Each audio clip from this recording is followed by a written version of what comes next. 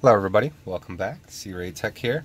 I've got a new frame that I've been testing out. Uh, this one is uh, 115 millimeters, and it's uh, it's a little different. So as you can see here, this is uh, your standard X frame.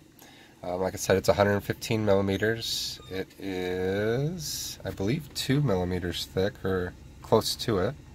But check that out, 15 degree motor pitch.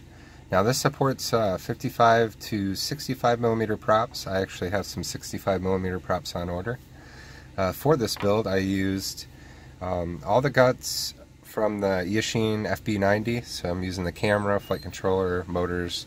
The only thing different is the props in the frame.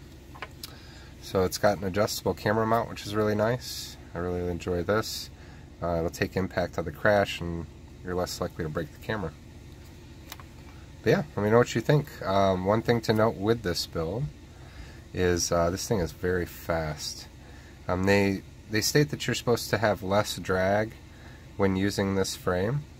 Um, I would have to do some testing to see if there's any difference, but I will say this thing is very fast. The weather here has been horrible, so I've only been able to do some testing with it. I haven't been able to actually get out and fly it hard.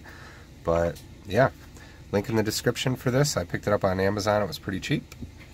And if you have any questions, definitely feel free to ask. And as always, guys, fly safe, fly often.